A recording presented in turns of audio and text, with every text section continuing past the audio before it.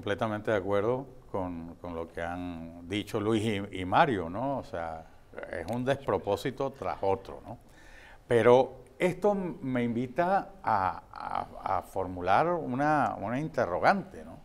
O sea, ¿qué está ocurriendo? ¿Qué está ocurriendo por dentro que, que pueda conducir a, a las más altas esferas del gobierno de la nación a colocar en tela de juicio algo tan delicado como la seguridad nacional. Y de la seguridad nacional estamos hablando cuando partimos de sus órganos de inteligencia. O sea, ¿qué, qué conduce a ello?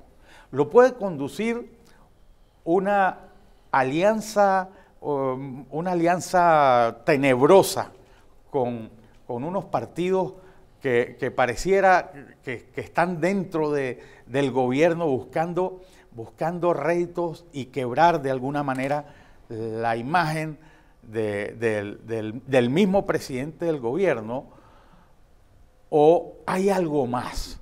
O sea, se han filtrado, porque un año de espionaje al jefe del Estado español, caramba, qué cosas habrán aflorado en ese año de espionaje.